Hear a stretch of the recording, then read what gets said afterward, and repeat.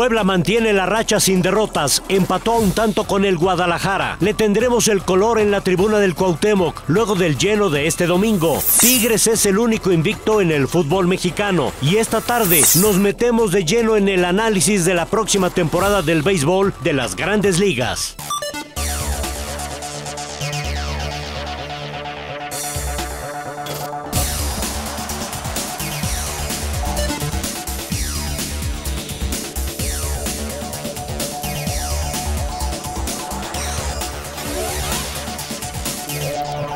Tal amigos? Bienvenidos a Tribuna Deportes, qué bueno que nos acompañan en esta tarde de lunes, bienvenidos, inicio de semana, tenemos un programa como siempre muy muy completo y los invitamos a que se queden con nosotros los próximos 60 minutos porque esto, esto va a estar muy muy bueno. Me da muchísimo gusto saludar en esta, en esta tarde a nuestro director general, don Enrique Montero Ponce. Señor, ¿cómo está? Muy buenas tardes. Seguí disfrutando del optimismo de Emilio Maurer.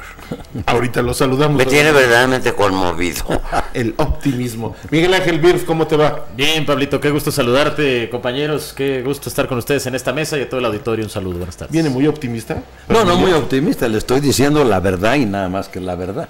Entonces, este, eso choca con el optimismo de esta prestigiada tribuna. Bienvenido, señor. ¿Cómo estás? Beto ¿Cómo están? Eh, buenas tardes, mucho gusto en saludarlos. Bueno, pues Rubén Omar Romano ya también le dieron las gracias. No me diga. Ya, ya le dieron las gracias y bueno, resulta que en la página oficial de Monarcas Morelia lo dan ya. Oficial de este día queda afuera y que en breve se conocerá quién toma el mando de Monarcas Morelia. ¿No se llevarán a bueno también ahí? No, ya se los ganaron. Ah, bueno, porque ves que creo que está muy, muy pedido ese muchacho. Sí, no, no, no. Nuevo Ahora- fracaso, Román. Nuevo fracaso de Romano. Y yo digo que es buen técnico, ¿eh? Y es buen técnico. Romano, creo que Vamos es a saludar también a Ingrid Martínez. Ingrid, ¿cómo estás? Muy buenas tardes. No gana, Hola, lo ¿qué tal? queda, Buenas tardes bueno. y muy buen provecho a todos los que ya están comiendo a esta hora. Efectivamente. Vámonos rápidamente con la pregunta del día para que participe con nosotros. 232-8000, la cuenta de Twitter, arroba Tribuna Deportes. Ahí está apareciendo en pantalla. ¿Qué le está gustando de este Puebla de la Franja? Participe con nosotros. ¿Qué es lo que más le está gustando de este equipo del Puebla de la Franja? Nos vamos inmediatamente con la nota del día.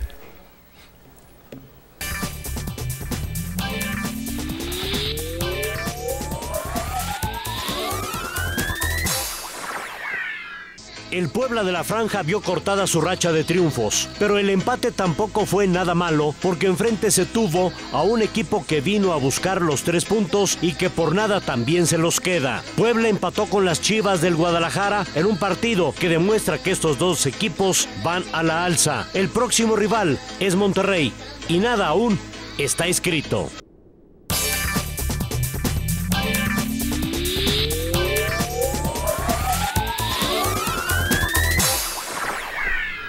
Muy bien, señores, ahí está el tema, el Puebla de la Franja, ayer en su partido contra las Chivas Rayadas del Guadalajara, el resultado ya lo conocemos, empate a un gol. ¿Cuál sería el análisis de este de este partido que se saca de este de este encuentro? ¿Quién quiere empezar? con- Don Emilio, por supuesto. don Enrique, por No, favor. no, de ninguna manera, señor.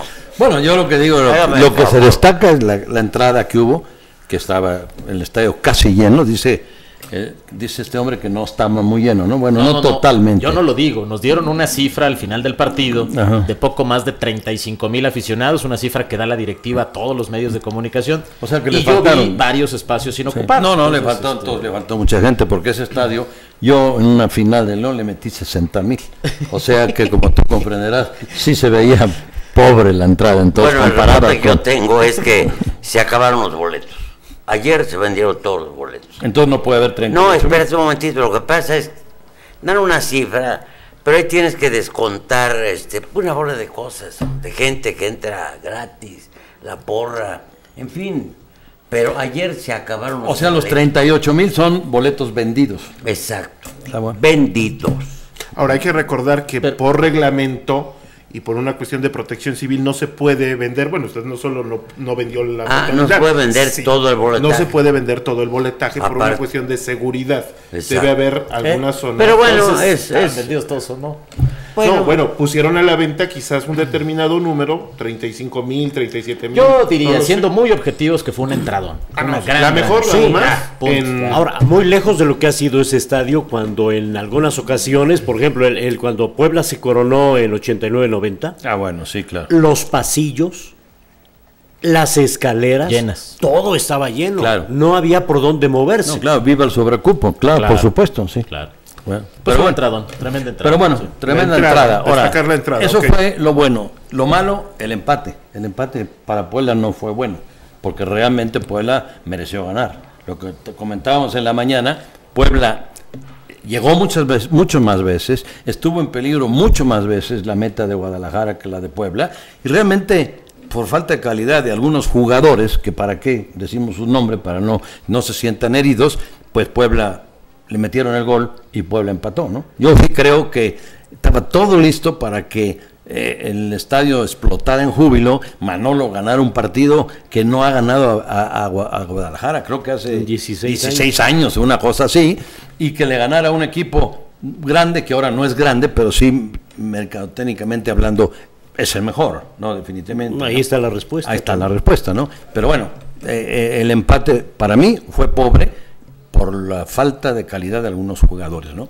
Y lo que a mí me llama la atención, que yo platico con ustedes y platico con don Enrique, es el cómo es un ídolo, no cabe duda que los ídolos, hay ídolos reales e ídolos de papel, ¿no? Porque no puede ser un ídolo alustiza que en Puebla no ha hecho nada más que la Tú le das ya etiqueta de ídolo. bueno, a- ayer gritaban a Lustiza, Lustiza, No, pero bueno, porque un, porque un sector decir- de gente grite a Lustiza, a Lustiza, no por eso ya lo hace. No, no, un- a mí me parece que gran no, jugador. que no es ni gran jugador ni ídolo, pero no se me, vaya, realmente se está ganando una, una aclamación que no, no, no se ha ganado. Le gusta a la gente, yo creo que el desparpajo con el que luego juega. Yo diría que Es le han faltado eso. Le han faltado los ídolos y a veces quiere adoptar a cualquiera, ¿no? Y Mira, este- acuérdate de Eudalio, la gente cómo lo quería. Sí. Eudalio Arriaga, Arriaga, el colombiano. El colombiano. Ah, sí, sí.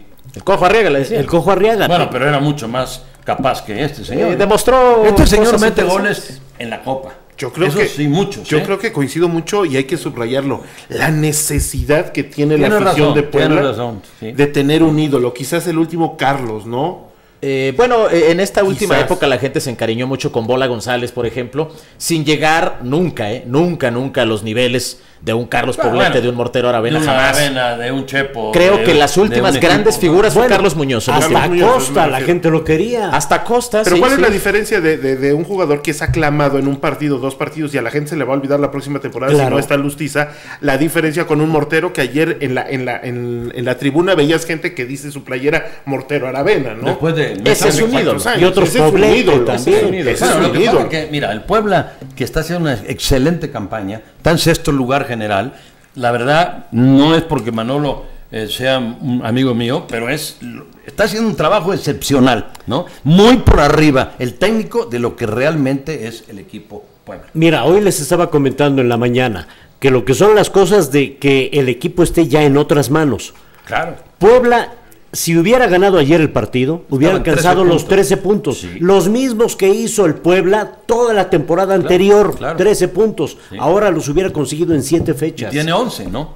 Y, Tiene y- 11. y- Y tiene 11. y- y jugando con, contra enemigos muy calificados y haciendo un gran papel, ¿no? Pero lo que yo te digo, el Atlas, que también está haciendo un gran papel, con un gran técnico que es, este, aunque no, don Miguel no, no le gusta, Le quitaría lo de gran.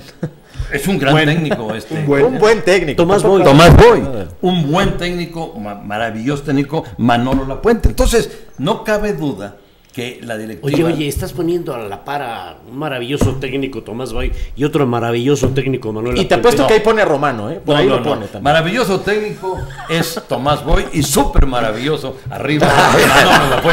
No, por favor, sí, sí. En esa clasificación lo dejamos el tema pendiente, caliente.